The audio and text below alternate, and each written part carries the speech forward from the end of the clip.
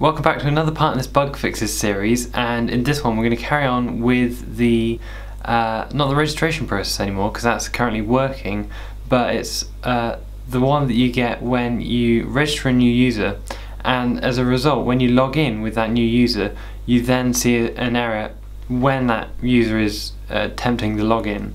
Uh, so let's go ahead and log in with firstly an existing account that we were initially testing with uh, I had an account called Max and my password. Uh, when I entered that, then I press login and it works. The entire system uh, does log in and it renders the homepage as we uh, intended. So that was what I was using to develop the uh, a lot of the features on the site.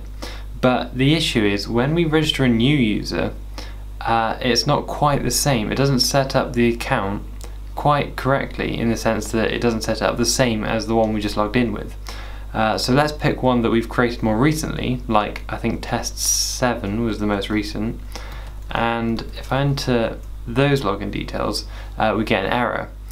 And I think the reason for this is because we've defined the uh, the friend variable here, and we've explicitly said get uh, we're referring to getting an object from the database.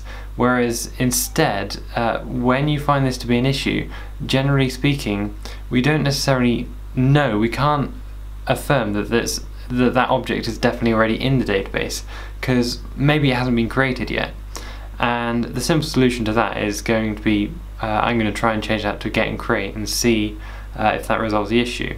So let's go and look in uh, home views uh, home views and I'm going to find the line. So it's line 16 and so if I hide the little left hand side tree view in my editor you can see the lines all all sort of on one line.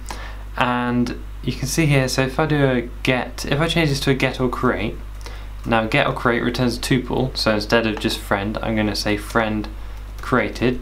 So that's you using that uh, tuple unpacking in Python to say, okay, I'm going to put the returned object in the friend variable, and then a boolean uh, as to whether it's been uh, created or just read from the database uh, as the created variable. So that's going to give us two variables there.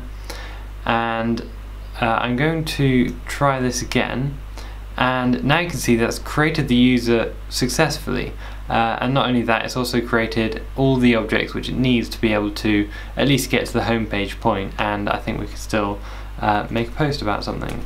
So let's just check some basic functionality works. We can still add someone as a friend I think and so that works. We can remove them again.